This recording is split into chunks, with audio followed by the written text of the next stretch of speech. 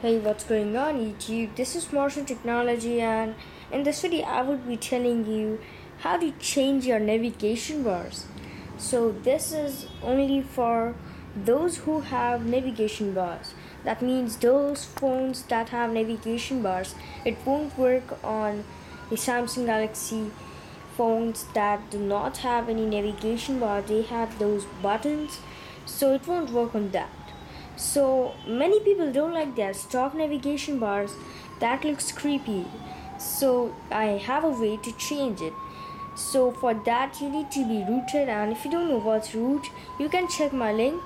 There check my description. There will be a link that will be telling you what's root so to change the navigation bars you need root and an app called SoftkeyZ so that's free on play store and its link is also in the description.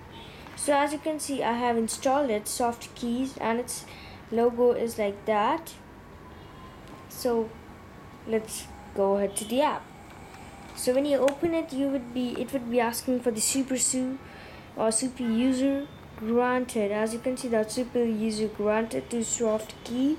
So it would be asking the root access and after it's done that's okay. So this would be showing your current navigation bar. So my stock navigation bar is this one but I don't like that big navigation bars. That's why I'm using the Android Else navigation bar. So these are the quick selections. These are offline themes and these are the online themes. If you scroll so scroll it on the left side so there is the online gallery. You need internet for that. It will be downloading your keys. Yeah.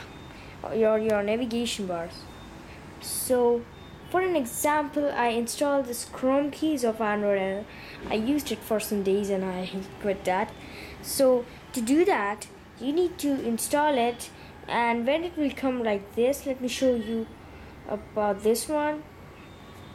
When I did the downloading thing it would be taking some time to download and there it's done. So as you can see there is the minions. So it would be showing like that. If you want to save it save it it would be for all the time. And if you want to keep it as your navigation bar you need to click on that tick button. Tick yeah right button. And if you don't you need to take a key click on that cross button. I don't want to change it right now so this is it. So let me tell you if you have any I'm using Mahdi ROM for example. If you are using CyanogenMod or any other ROM you need to use the stock theme stock holo theme. So from the stock theme you can change it. If you apply any other theme and if you try to do that it won't work. So this is it. So thanks for watching guys. Please subscribe and I will catch you on the next one. And if you like this video give it a big thumbs up and if you don't give a thumbs down and let me know why you really like this video in the comment section. And I will catch you on the next one. Peace